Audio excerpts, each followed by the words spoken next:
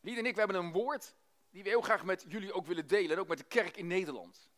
Heel specifiek, gericht aan een doelgroep. En dan zeg je, ja maar ik behoor niet tot die doelgroep.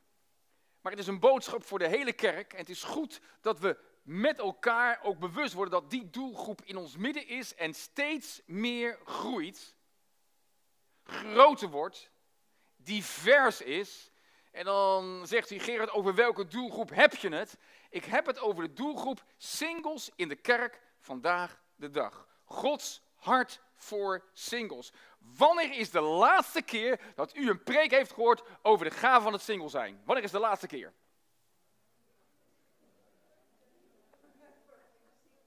Amen. Maar gewoon ook in de samenkomst. Zijn die trouwens singles in ons midden of niet? Ga, ga, ga eens even staan op de plek waar je nu zit. En zullen we ze eens even eren, deze singles? Gewoon door een applaus te geven.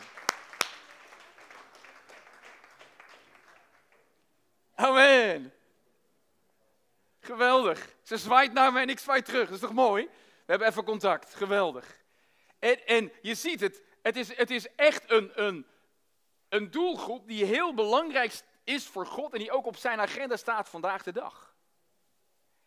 En we spreken over het huwelijk. We spreken over het gezin. Maar ook daar zijn singles bij. Ook daar zijn singles bij die geen kinderen hebben en singles bij die wel kinderen hebben. Maar we, we spreken erover. Maar over dit thema, Gods hart voor singles, hebben we eigenlijk nooit een preek gehoord. Zuster, dat gaan we doen. Een tekst die als een bom bij mij insloeg, want ik heb 45 jaar lang als een bewuste single geleefd. Heel bewust heb ik daarvoor gekozen. En toen ik daarvan getuigde in mijn twintige jaren, toen zeiden de mensen tegen mij, Gerard, dus jij hebt de gave van het celibaat. Dus jij hebt de gave van het single zijn. En toen dacht ik, ja, dat zal dan wel, maar ik heb er een bewuste keuze voor gemaakt, dus ik, ik leef als een single. In die fase ben ik natuurlijk gewoon wat onderzoek gaan doen. Ik heb boeken gelezen over het single zijn. Ik heb schrijvers, die ben ik gaan, uh, uh, met name schrijvers die daarover hebben geschreven, ben ik, uh, ja, ben ik eens gaan, die boeken gaan lezen. En op een dag, ik zal het nooit meer vergeten, was een echt een explosie in mijn binnenste, las ik 1 Korinthe 7 vers 7. 1 Korinthe 7 vers 7. Het is Paulus die schrijft. En je hebt wel eens van die teksten, dat wordt ineens een, een openbaring voor je. Ken je dat of niet? Je leest een Bijbeltekst en ineens komt het binnen. Het komt je hart binnen. Het raakt je. Je, je, het, je verandert van binnenuit. Er komt geloof daardoor in je hart. Sommige mensen hebben het al heel vaak tegen je gezegd, maar ineens eh, er gebeurt iets. Je kan tegen iemand zeggen, God houdt van je. Ik denk, ja, dat is leuk, want dat, dat weet ik. En ja, dat hebben mensen tegen mij gezegd. En nog eens iemand die zegt, God houdt van je. Ja, dat heb ik ook eerder gehoord. En ineens zegt iemand tegen je: hey, God houdt van je. Het komt ineens binnen. Je raakt wellicht zelfs emotioneel. Ik denk, hè? Ik heb het zo vaak gehoord. En ineens doet het iets met me. Nou, zo was het ook met deze tekst. Paulus schrijft: Ik zou best willen dat iedereen. Ik lees even uit de basisbijbel. Ik zou best willen dat iedereen ongetrouwd was zoals ik. En nu komt het. Maar ieder mens krijgt van God zijn eigen gave. Luister. De een krijgt de gave om te trouwen en de ander de gave om niet te trouwen. Deze tekst is klip en klaar. Twee gaven. Geeft God aan de mensen. Welke gaven zijn dat? Het huwelijk, het getrouwd zijn en het ongetrouwd zijn, oftewel het single zijn. Beide zijn een gave van God. Punt uit. Het staat hier, het is een gave. Die krijg je. Een gave is een cadeau die je krijgt. Dus het is of je bent single of je bent getrouwd. Is het een of het ander wat hier staat in dit gedeelte. En toen ik dat gedeelte las, was er ineens een, een explosie van Gerard Jij hebt de gave van het single zijn. En ga eruit leven. Maar nu komt het. Iedere single die hier single is, heeft die gave. Want je hebt of het een of het ander. That's it. Je hebt of de gaaf van het single zijn, of de gaaf van het getrouwd zijn. Ja, maar ik wil helemaal niet de gaaf van het single zijn. Straks is dat de gaaf van het celibaat. Relax.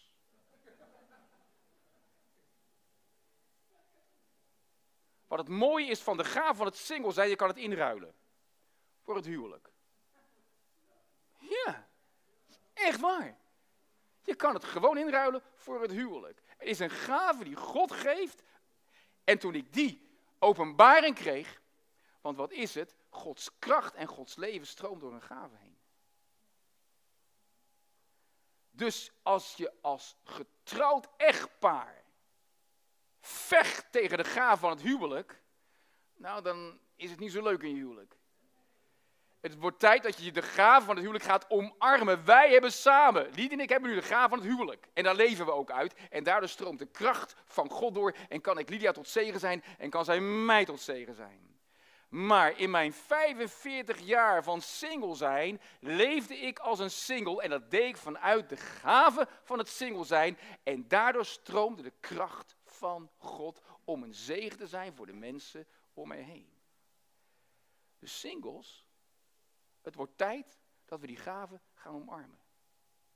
Want wat gebeurt er? Daardoor gaat Gods kracht door je heen stromen. Gaat het leven stromen. Je bent of getrouwd, of je bent niet getrouwd. En beide zijn een gave van. En toen mijn ogen hiervoor open gingen, dacht ik, dit woord moet de kerk van Jezus horen. Want we hebben zoveel singles in ons midden, die eigenlijk, waarmee we ook praten, ja, en ik weet, zomaar zeggen, Gerrit, ik kies er ook heel bewust om single te zijn. Maar diep in ons hart verlangen we allemaal naar een maatje. En ik weet, er zijn uitzonderingen, absoluut. Maar de meeste singles verlangen allemaal naar een maatje. En wat dan zo belangrijk is, om erin te gaan ontspannen en te zeggen, maar nu heb ik de gave van het single zijn. En ik ga er met volle teugen van genieten. Toen ik die openbaring kreeg, ben ik zo anders gaan staan in het leven. En merkte ik, Gods kracht stroomt daar doorheen.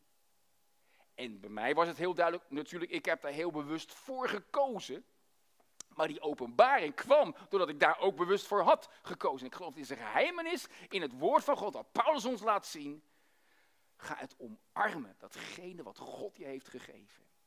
En op het moment dat je dat doet, dan kan God ook de persoon, als je dat eventueel zou willen, misschien zeg je nee hoor, het is helemaal niet mijn tijd, ik leef gewoon lekker, want de Heer is nu mijn man en mijn maker, ook voor mannen geldt dat gewoon. Hij is je maatje, hij is je verbondspartner, je voelt gewoon God en Jezus is bij je en je bent daar dankbaar voor. Deze openbaring wil ik u dus niet onthouden, wil ik de gemeente niet onthouden, wil ik getrouwden niet onthouden, want jullie hebben ook een gave en dat is de gave van het huwelijk. Omarm het. Leef eruit. Want daardoor stroomt de kracht van God. En laat Satan het niet blokkeren. Dus voor wie is deze boodschap? Nou, ik zeg voor ons allemaal. Amen. Want laten we eerlijk zijn, op wie willen we gaan lijken? Meer en meer op Jezus. Toen hij wandelde hier op aarde, was hij wel single, hè? En hij leefde vanuit die single-gave. Heel duidelijk. Hij had een bewuste keuze. Hij leefde vanuit die single gave. De persoon die eigenlijk het grootste gedeelte van het Nieuwe Testament heeft geschreven. Paulus. En Paulus was single. Hij leefde heel bewust vanuit die gave van het single zijn. Wat denk je van de profeet Jeremia? In Jeremia hoofdstuk 16, die werd zelfs verboden om te trouwen en kinderen te krijgen. Wat een woord van God. Hij mocht niet eens trouwen van de Heer. En, en dat had alles te maken natuurlijk met het oordeel dat zou gaan komen over Israël en over Jeruzalem. Maar ook hij leefde vanuit die gave van het single zijn. En juist door die gave te omarmen, gaat er ruimte komen, gaat er leven stromen, gaat er kracht stromen. En dan word je aantrekkelijk in het koninkrijk van God. En dan zal God jouw waren op zijn tijd in jouw leven brengen. Amen. En dan mogen we ook amen op zeggen. En ik hoor ook de laatste tijd, Gerard, ja, zo'n single-conferentie jullie organiseren. En we hebben daar een duidelijke reden om. Gewoon om singles bij elkaar te brengen. En zeggen dat jullie zeker, dat, zodat singles uh, elkaar ontmoeten om te gaan trouwen. Ik zei, nou, dat mag een mooie vrucht zijn, maar we willen gewoon singles bij elkaar brengen. Om heerlijk fellowship te hebben, elkaar te ontmoeten, want die behoefte aan het ontmoeten van elkaar is mega groot. En ook elke schaamte moeten we gaan doorbreken. En schuld moeten we gaan doorbreken. Er moet vrijmoedig over gesproken worden. Singles zijn voor mij helden in het koninkrijk van God. Punt uit. Singles hebben een stem. Zij hebben diepte meegemaakt in hun pijn met God, in hun ervaringen met God, die ze graag willen delen met het lichaam van Christus. Want zij kennen een eenzaamheid die dikwijls een getrouwde niet kent. Ook al is het wel zo, in je huwelijk kan je ook eenzaam zijn. En dan is het weer heel belangrijk dat je ook als getrouwde die gave van het huwelijk omarmt. Kom ik over of niet? Is dit helder? Dat dit een gave is. En dat is iets wat Satan altijd heeft willen, eigenlijk verborgen willen houden. Maar deze tekst, 1 Korinther 7 vers 7, is zo klip en klaar en helder. Hij heeft aan de mensen gegeven. En dan noemt Paulus twee gaven, heel specifiek. En ga eruit leven. Datgene wat jij van God ontvangen hebt. Dus voor wie is die boodschap? Het is echt voor ons allemaal. En tevens laten we ook even eerlijk zijn, we zijn toch allemaal single geweest? Iedereen heeft toch de vraag, ja, zo lang geleden, ik weet het, maar je hebt allemaal de vraag gesteld van wie is mijn ware? Als we spreken over de ware, de ware is Jezus. Amen. De ware is de Heere God. En in de Heere God is jouw ware. Dus niet de ware, maar jouw ware. Want de ware is de Heere God. En is het zo belangrijk om te beseffen dat wij allemaal die vraag hebben gesteld van wie past bij mij? Met wie wil ik kinderen krijgen? Met wie wil ik oud worden? Toch of niet? Dat is een hele gezonde vraag waar we ons niet voor hoeven te schamen. Die vraag die mag gesteld worden. Daar mag je mee bezig zijn. En nu komt het. Wees ermee bezig vanuit de gave van het single zijn. En dan zal je zien dat het leven begint te stromen. Het leven zoals God dat heeft bedoeld. Nou, even schrikbarende cijfers, want één op de drie huishoudens zijn eenpersoonshuishoudens. Eén op de drie. Vandaag de dag. CBS 2019. Dat is een groot percentage. Als je dat zou kunnen doortrekken, dan, zijn, dan is bijna een derde van de kerk is single. Dat is een hele grote groep. En die groep is groot en divers. En het wordt tijd dat ook zij ervaren, hé, hey, wij mogen er zijn. En daar hoeven ze niet voor te vechten, want ze zijn er gewoon. Maar het is wel dat onze ogen daarvoor open gaan, ook als kerk van Jezus, ook als getrouwde. Want het meest ideale plaatje is toch vaak vader, moeder en kinderen. Laten we eerlijk zijn. En op het moment dat je, dat je, dat je ook gescheiden bent, wat zit daar vaak een pijn en een verdriet. Ja, Gerard, ik ben gescheiden. En wij proberen nu de mensen te leren, joh, nee, je bent gewoon een zoon of een dochter van de vader. Die een pijnlijke ervaring heeft meegemaakt, een relatiebreuk, maar je bent niet, je scheiding is niet je identiteit. Je weduwschap of je weduwnaarschap is niet je identiteit. Het is Christus, die is jouw identiteit. Amen. En dan ineens, je, daardoor doorbreken schuld, schaamte, aanklacht en bepaalde gevoelens die er zijn, die we ook gewoon moeten bespreken met elkaar. En dat we daar open over mogen zijn. Dus één op de drie huishoudens is een één persoon huishouden. De groep is groot en divers. Nou, wie zijn dan de singles, de huidige singles van vandaag de dag? Gewoon goed om dat even te, te weten. Iemand die natuurlijk nog nooit een, een vaste, duurzame relatie heeft gehad. Dat is een, dat is een single. En, en tot die singles behoorde eigenlijk uh, ik. Ik had nog nooit een, een, een, een, een lange, een duurzame relatie gehad. Ik heb er heel bewust voor gekozen. Lydia heeft wel wat relaties gehad. En, maar iedere keer weer nou, was dat toch niet haar ware. En, en uiteindelijk heeft ze ook gezegd, dan laat ik het los hier. Ik kom die persoon vanzelf wel tegen. En kijk is wat er gebeurd is. is mij tegengekomen. Halleluja. Ja. En dan heb je mensen die gescheiden zijn. En, en, en voor mij zijn dat ook best ook, dat, we, dienen deze mensen ook te eren in het lichaam van Christus, want ze hebben een pijn mee, meegemaakt. Ze hebben, ze, hebben, ze, hebben, ze hebben afwijzing meegemaakt. Sommigen hebben zelfs een vechtscheiding meegemaakt. Dan hoor je dikwijls, ja, maar het is ook wel, het is, het is een goede harmonie gegaan, maar reken maar dat het pijn doet. En als er ook nog eens kinderen bij betrokken zijn. En wat denk je van de eenoudergezinnen? Nou, dat zijn voor mij helemaal helden. Dat zijn voor mij helden. Ik denk, my god, daar neem ik me petje vooraf. Die, staan er vaak dikwijls helemaal alleen voor. En dan, en dan moeten ze zorgen voor hun kinderen. En, en, en de pijn die, die, die ze dan met zich meedragen. En ik was ook de eenzaamheid.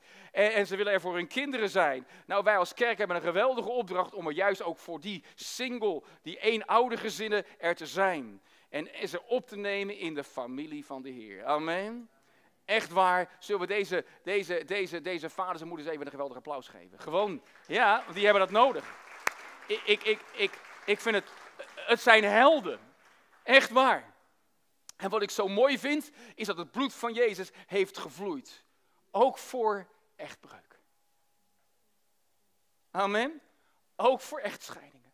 Ook voor overspel. Ook, noem het maar op wat er gebeurd is. Het bloed van Jezus heeft overal voor betaald. Dus er is hoop voor een ieder. Als we ons maar radicaal bekeren. Als we maar weten van, Heer, ik, ik, ja, er zijn dingen gebeurd die ik anders had moeten doen. En dan is het zo geweldig dat de Heilige Geest je overtuigt. Dat hij die reiniging en die heiliging mag gaan plaatsvinden in je leven.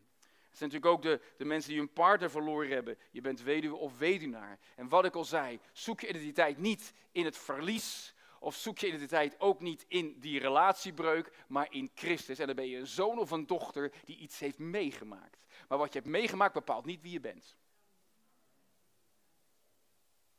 Wat je hebt meegemaakt bepaalt niet wie je bent. Zelfs stond er zo'n jonge man voor me en ik, bij ons thuis. Ik, of hij wel of niet de Heer kent, ik weet het niet. En ik begon over zijn gezinnetje. En hij zei, ja, maar ik ben gescheiden. Op het moment dat hij dat zei, voelde ik die schaamte en die schuld binnenkomen. Ja, maar ik ben gescheiden. Nee hoor, maar het gaat wel goed. En direct merk je dat de atmosfeer verandert. Schaamte, schuld, aanklacht, eenzaamheid. Wat is het dan mooi dat we dat met elkaar mogen doorbreken. Heerlijk toch? Je hoort er helemaal bij. We zijn belangrijk in de ogen van God. Dan zijn er mensen die natuurlijk worstelen met hun identiteit, met hun seksuele gerichtheid. Mannen die vallen op mannen, vrouwen die vallen op vrouwen. Lieve mensen, het is ingewikkeld geworden vandaag de dag. Het is heel ingewikkeld. Maar wat ben ik blij dat je identiteit op bepaald is voor de grondlegging van de wereld. Wat ben ik blij dat we kunnen roepen in de geestelijke wereld: God heeft bepaald of je een man of een vrouw bent. Dat is zo bevrijdend. Amen. Dat heb jij niet bepaald. Dat hebben je ouders niet bepaald. Dat bepaalt je gender niet. Dat bepaalt je cultuur niet. Nee, weet je wie bepaald heeft? Wie je bent, een man of een vrouw. Ik heb een blijde boodschap, God zelf. En ik weet, er is een grote gebrokenheid en er is heel veel pijn. Maar hoe bevrijdend kan het zijn als dat machtswoordje geest binnenkomt. En dat je als man, als vrouw mag opstaan in de gebrokenheid van deze wereld. Amen. Is dat geen blijde boodschap? Want je zal maar worstelen met je seksuele gerichtheid. Je zal maar worstelen met, met, met al die gebieden in je leven heer, waar, waar we anderen heel makkelijk over kunnen doen. Nou, die worstelingen die kunnen heel groot zijn. En wat is het dan belangrijk dat we opnieuw weer identiteit gaan bekrachtigen en bevestigen. Je bent welkom, je bent het waard. God wil je in ere herstellen, want God is een God. Bij God is alles mogelijk. Amen. Hoort je mijn hart? Het hart van de Vader? Het is zo belangrijk dat we ook over deze dingen durven te spreken in het lichaam van Christus. Want dikwijls is het zo taboe. Maar dan ervaar ik, laten we het dan maar gaan doorbreken met elkaar. In Jezus' naam. Want singles zijn helden in het koninkrijk van God. Getrouwden zijn helden in het koninkrijk van God. Maar we moeten dat niet vergeten. We horen bij elkaar. We hebben elkaar zo hard nodig. En dan zijn het natuurlijk de bewuste singles die zich voor de rest van hun leven laten besnijden. Hè? Matthäus 19, vers 12. Die hebben daar bewust voor gekozen. En tevens, wat denk je van mensen die geboren zijn met een lichamelijke of verstandelijke beperking? Die niet kunnen of mogen trouwen. Zouden wel een relatie willen, maar door omstandigheden lukt, kan het allemaal niet. Dit zijn mensen in het lichaam van Christus die heel kostbaar zijn. En de Heer Jezus wil luid en duidelijk spreken door mensen met een beperking. Want in God is er geen beperking. Aan deze kant van de eeuwigheid mag er dan die beperking zijn. Maar in de eeuwigheid bij Hem is daar geen beperking meer hoor. Halleluja. En, en, en, en, en zo kijkt de Heere God al naar deze mensen. En zij hebben een boodschap die zo krachtig is vandaag de dag. Oh, kinderen met het Down-syndroom, kinderen die, die verstandelijk beperkt zijn. Het zijn zulke kanjes in het koninkrijk van God. En, en, God spreekt door die kinderen heen. God spreekt door die, door die mensen heen op een machtige wijze. En wat leert hij? Wat heeft hij mij met name geleerd? Om lief te hebben. Gewoon om lief te hebben. Dat heeft God in mijn hart bewerkt. Als ik kijk naar die, die mensen, als ik kijk naar die mensen met een beperking, dan zeg ik, deze mensen hebben een boodschap, ook voor Gerard de Groot. En ik wil naar ze luisteren. Ik, ik, ik hoor de boodschap die God door die mensen wil spreken. En dat doet iets in mijn binnenste. En die belangrijke boodschap, ik ga er nu niet over uitweiden, maar die ik toen heb geleerd was, ik wil dat je leert wat het is om lief te hebben. Nou, die boodschap kwam wel binnen. Juist waar wij dikwijls op neer kunnen kijken, dat zijn de helden in het koninkrijk van God. Want hij wil God doorheen spreken. Dus dat kinderkerstfeest, nou voor mij zijn die kinderen dan de helden. Halleluja. En behandel ze als helden. En ga bidden voor de kinderen, ga bidden voor de zieken. Nodig ze uit om een keuze voor Jezus te maken, ze zullen allemaal komen. Haha, amen. Want ze willen niets liever dan hun schepper ontmoeten. Waarom? Omdat ze proeven. Oh, al voor de grond de wereld waren zij in het hart van de Vader.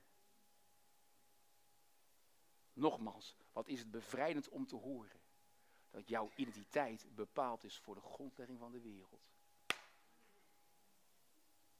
Nog voordat je bestond, kende hij je naam.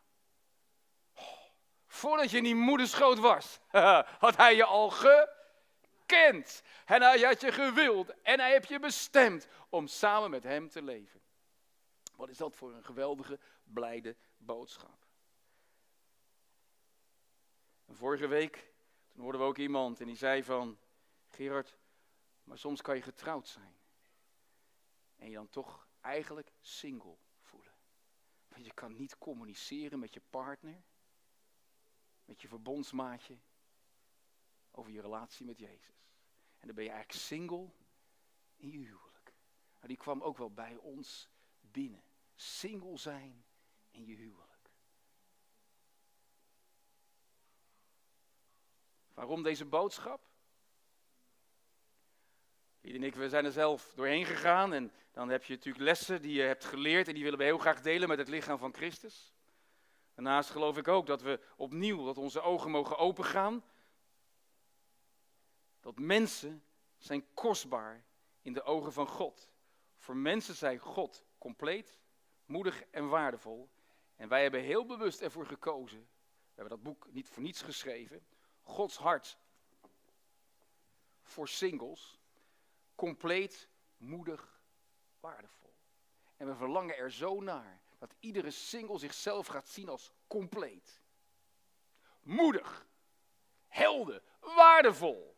En tevens dat de kerk hen gaat zien als compleet, moedig en waardevol. Want wat is de pijn dikwijls van bijna iedere single, dat de kerk naar hen kijkt en hen ziet als iemand die iets nog niet is, namelijk getrouwd.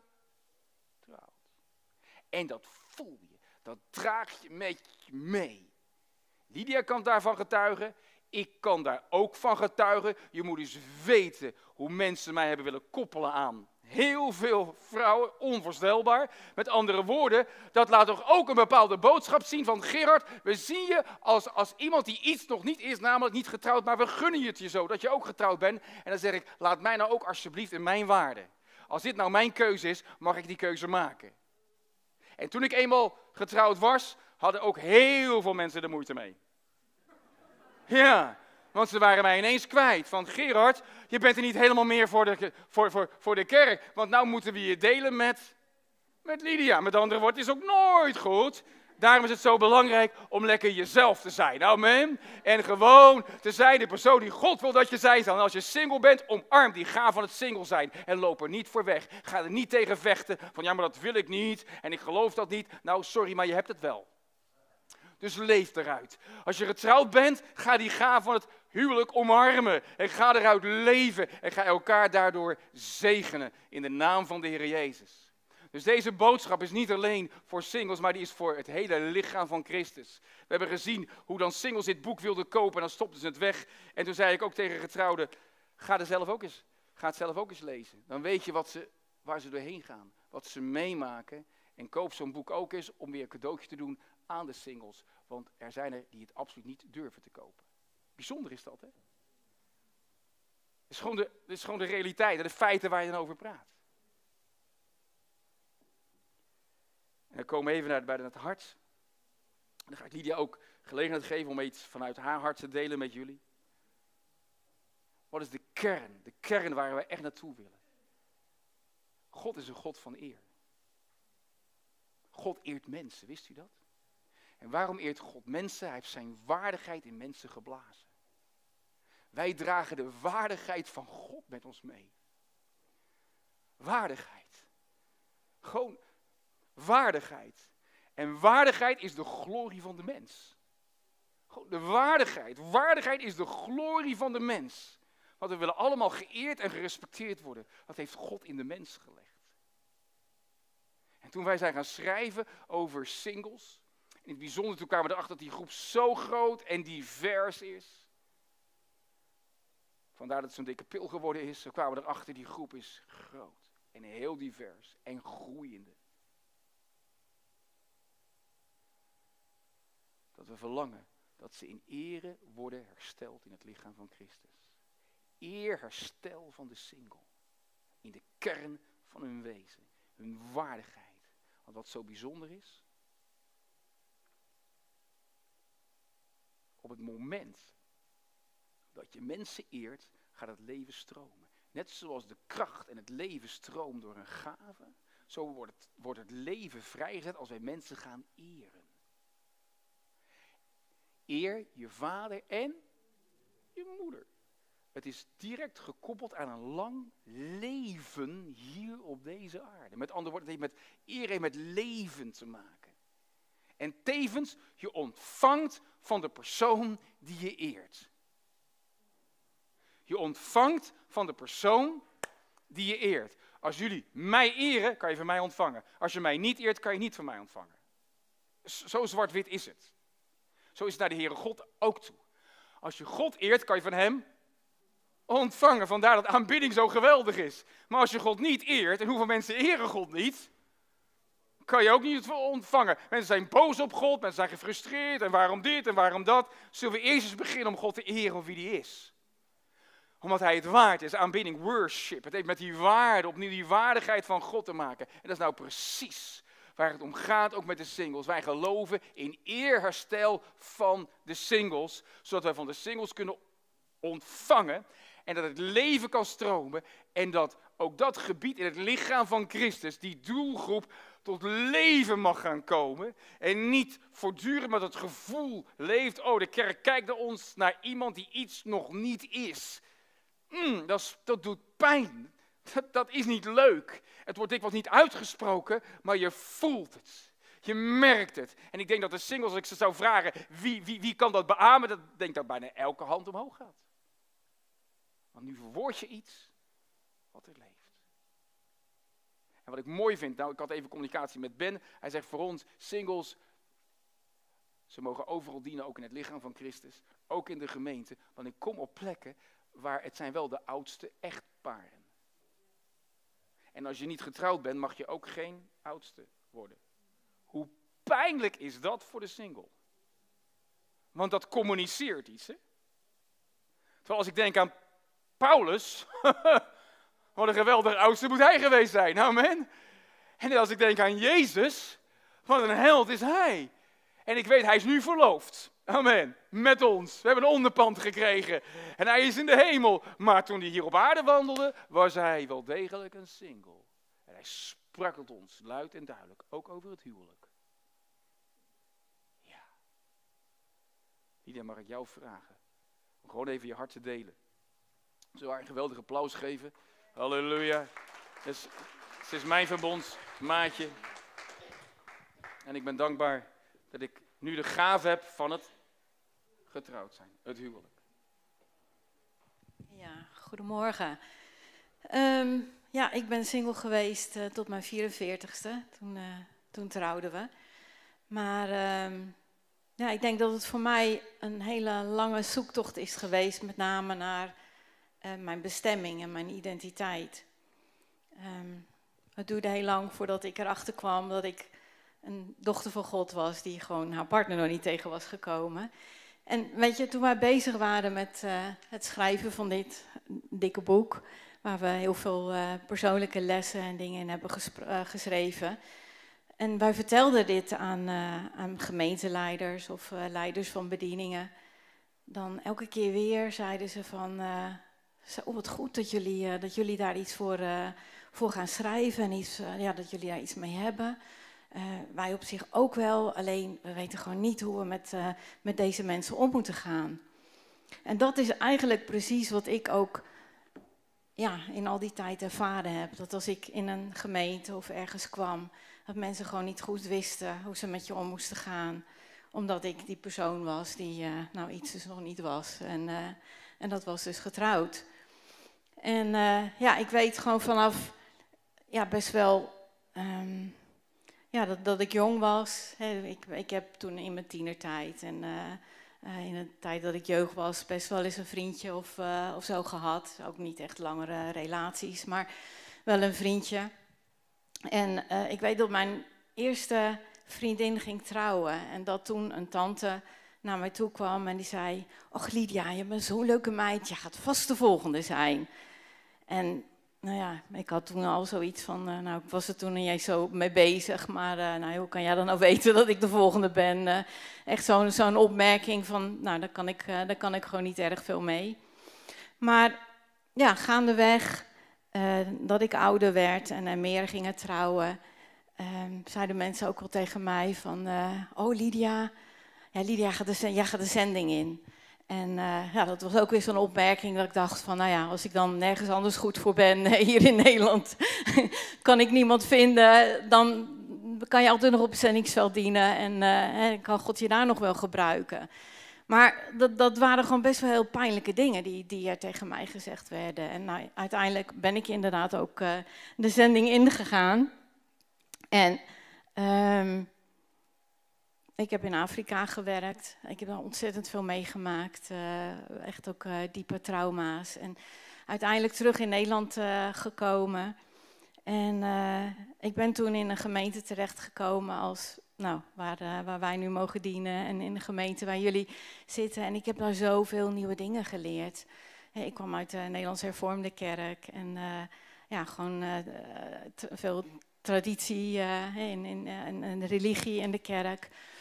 En ja, toen ik in deze nieuwe gemeente terechtkwam, jongen, er ging echt een wereld voor mij open.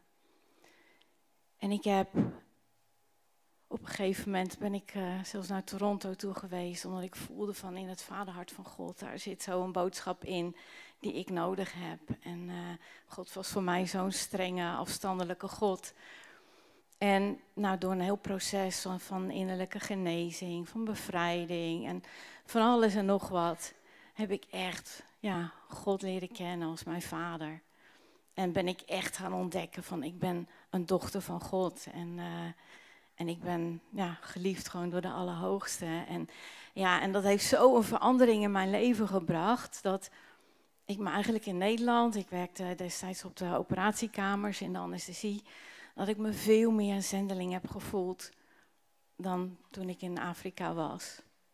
Weet je, een zendeling, of in, in Afrika voelde ik me zendeling en was dat ook een stukje identiteit voor mij. En uh, ik ben zo blij dat ik God heb mogen leren kennen als mijn vader. En dat ik een dochter ben van de Allerhoogste yes. God. En ja, en dat ik gewoon weet van, dat was ik op de operatiekamers ook. Ik zorgde ervoor dat ik de eerste was uh, als ik op, mijn op het werk. En dat ik, dat ik echt ook uh, ja, heel bewust dacht van, ja, God, u woont in mij, Heilige Geest. Als ik hier de drempel overstap, dan neem ik u mee. En alle duisternis moet wijken, want het licht komt hier binnen. En ik zorgde er ook voor dat op de operatiekamer ik de eerste was die het licht aandeed. En zei, Heilige Geest, welkom. Ik ben zo benieuwd wat u gaat doen deze dag. Hmm. Weet je, elke dag was een feestje. Gewoon, dat was zo mooi. Maar goed, we hebben het over singles, uh, niet, niet over dit. Maar ik heb zo ervaren in de kerk, hè, dat, dat elke keer als ik op een nieuwe plek kwam, of ik ontmoette nieuwe mensen, dat ze mij zeiden van, uh, hoi, uh, wie ben jij? Uh, je bent hier nieuw? Nou, ik ben Lydia. Oh, nou leuk, welkom. je bent getrouwd, hoeveel kinderen heb je? En Nou, dat was dan weer zo'n moment dat ik dacht van, oh nee. ik word behandeld als die, iets die nog of die, iemand die iets nog niet is. En dan viel die ongemakkelijke stilte weer als ik zei van nee, ik heb geen kinderen en ik ben niet getrouwd. En, en, en in de kerk zijn er zo vaak van, ja, allerlei opmerkingen naar mij gemaakt. En nou, ik, elke keer hoor ik ook van singles van, dat herkennen we zo.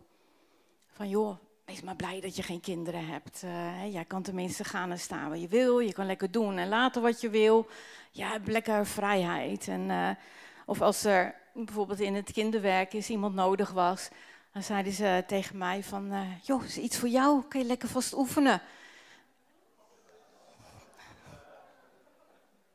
Of een taak in de kerk, hè, van, uh, joh, dat kan jij lekker doen, je hebt toch niemand om voor te zorgen. Weet je, en, en mensen doen dat natuurlijk, zeggen dat natuurlijk niet omdat ze je echt pijn willen doen.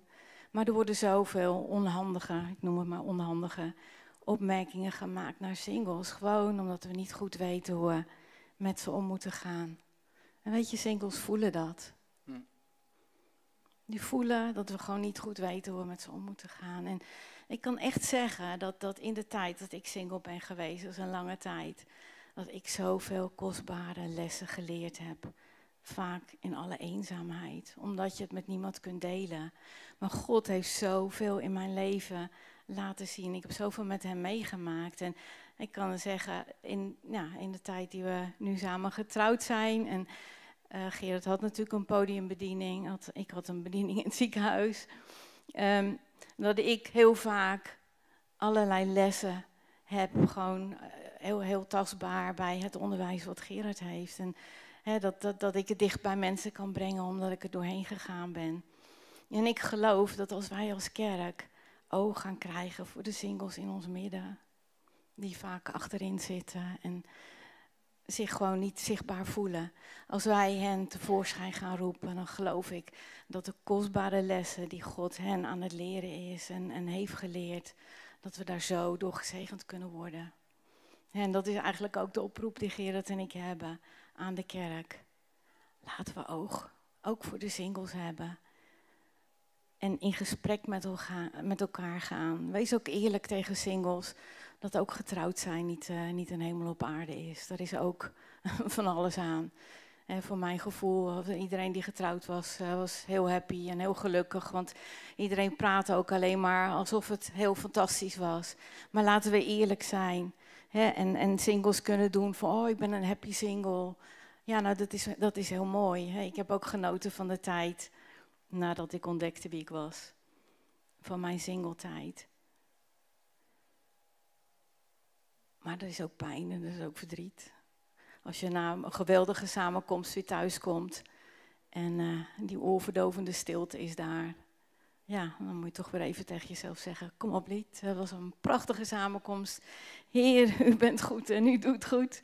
En ik zet een gezellig muziekje op en ik uh, ga gewoon, ik kies ervoor om te danken en om blij te zijn. En me te verheugen en te verlustigen in de Heer. Want dan zal Hij je geven de wensen van je hart.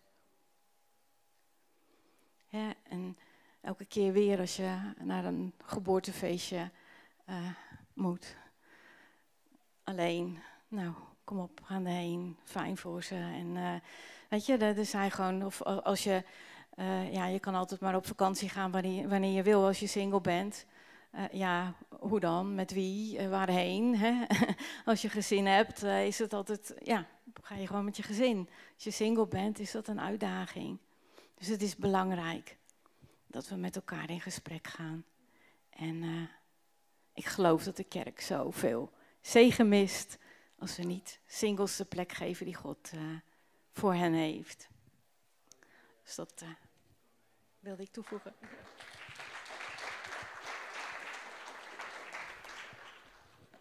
Even heel kort, dan gaan we het afronden. Wat, wat, wat de boodschap is, Gods hart voor singles. Gods hart voor huwelijken, gezinnen. Maar laten we de singles niet vergeten. Amen. Zo belangrijk dat, dat God omarmt ze. En de laatste tips die ik wil meegeven. Accepteer en omarm de gaven die je hebt. Amen. Wees dankbaar voor de gaven die God je heeft gegeven. En als je getrouwd bent, omarm die gave van het huwelijk. Paulus schrijft erover.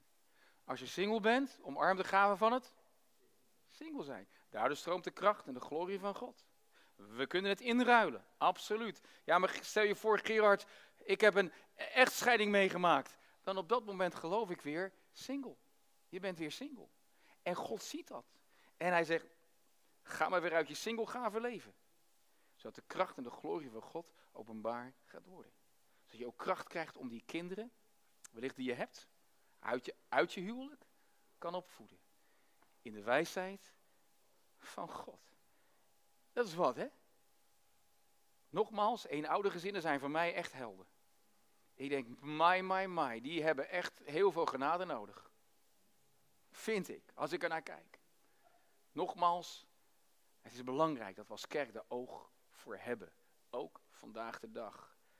Twee, je bent een volwaardig burger. Of je nou getrouwd bent of niet getrouwd, je bent een volwaardig burger in het koninkrijk van God. Niemand bungelt erbij. Amen. Halleluja. En het is heerlijk om te weten dat we niet hoeven te, te, te, overleven, maar dat we mogen leven. Zowel als single, als je je singlegave gaat omarmen, dan gaat er leven stromen. En dan ga je niet meer overleven, maar je gaat leven. Hetzelfde geldt voor de mensen die getrouwd zijn. Je omarmt het, dan kan het leven gaan stromen zoals God dat heeft bedoeld. En dan deze slogan, je bent compleet. Zullen we het even tegen elkaar zeggen, je bent compleet. Of je nou getrouwd bent, of niet getrouwd bent, je bent compleet. Nogmaals, je partner, Lydia, maakt mij niet compleet. Punt. Ze voegt toe, ze vult mijn leven aan, ze verrijkt mijn leven, absoluut. Maar ze maakt mij niet compleet. En ik maak haar niet compleet. Wie maakt ons compleet? Christus. En waar woont Christus? Die woont in ons. Dus we zijn compleet in het lichaam van Christus. Ik vergeet, het was twee jaar geleden toen ik op de Hart om Hart Zomerweek die boodschap bracht voor Gods Hart voor singles.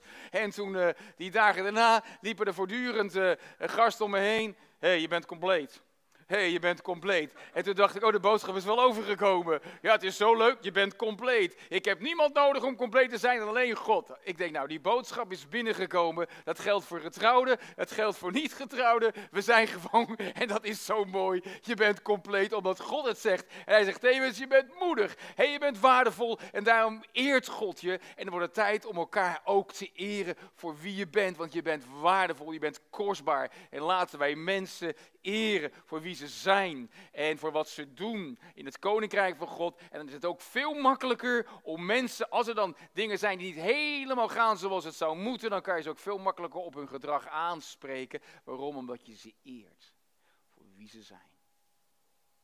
Compleet. En tot slot wil ik ook zeggen, regeer in het leven. Of je nou wel of niet getrouwd bent, regeer. Laat Christus in jou en door jou heen regeren. Want wie of wat regeert je leven, is natuurlijk eigenlijk de hamvraag. Daar begon het al in Genesis 1, 26 mee. Heers, regeer. Wie of wat regeert je leven? Is het Christus en jij in Christus, of zijn het omstandigheden en situaties van je leven? Als je huwelijk je leven regeert, dan klopt er iets niet. Als je single zijn je leven regeert, dan klopt er iets niet. Laat Christus regeren en jij regeert te midden van het getrouwd zijn, te midden van het single zijn. En dan laat je de glorie en de heerlijkheid van God binnenkomen in iedere situatie. En dat is iedere dag weer een keuze, klopt hè? Iedere dag moet ik er weer voor kiezen. Nee, niet de omstandigheden regeren. Niet, niet datgene wat, wat ons soms wordt aangedaan. Of het onrecht regeert. Of de pijn. Of de lastige situatie. Die maken we toch allemaal mee? Of, of ben ik de enige? We staan voortdurend voor uitdagingen. We staan voortdurend voor uitdagingen. Als ik met dat droomfonds, als ik had bepaald dat die 125.000 euro mijn leven gaat regeren, dan had ik, had, ik zou geen leven hebben. Maar ik denk, halleluja, Jezus regeert. En hij voorziet. Dat is gewoon weer dat vertrouwen die je mag hebben in hem. En omarmen in alles ook reinheid. Amen, reinheid. Het is zo in het huwelijk, laat reinheid gewoon regeren. Amen. Reinheid. En hetzelfde geldt als single. Laten we rein door het leven gaan. Laten we daar open en eerlijk over zijn. Zorg dat je altijd een buddy hebt. Ik vergeet nooit meer, in mijn single zijn had ik een mentor. En zijn naam was Jan Sjoerd Parstekamp. En dan kwam hij naar me toe. Hij zei, Gerard, mag ik even met je praten? Ik denk, oh, oh. En dan zei hij, Gerard, hoe gaat het met je seksleven? Ik zeg, de wat? Hij zegt, je weet wel wat ik zeg. Maar waarom deed hij dat? Open, transparant zijn. Ook omdat ik hem dat gevraagd had natuurlijk. Maar ik ben zo blij dat hij mij die vragen durfde te stellen. En daarom het altijd, is het altijd goed om mensen om je heen te hebben. Mensen die je vertrouwt. Die die vragen mogen stellen. Zodat we verantwoording kunnen afleggen aan de Heer en aan mensen om ons heen. Die wij vertrouwen. En daardoor het koninkrijk van God meer en meer zichtbaar mag gaan worden.